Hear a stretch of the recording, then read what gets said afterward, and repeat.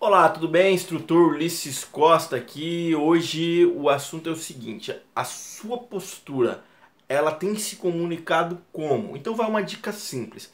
Se você não sabia, sua postura se comunica. Ela se comunica com os transeuntes do seu local, os usuários do seu local de serviço.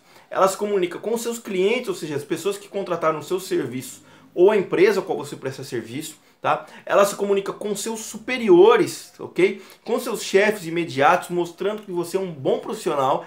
E ela também se comunica com um setor bem perigoso. Ela se comunica com os bandidos, com os malas, tá? Com os enviados do Satanás. É isso mesmo. Mas como assim, Ulisses?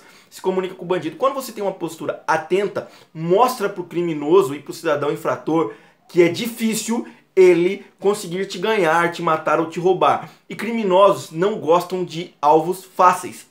Então fica a dica, mantenha a postura e mantenha a sua vida.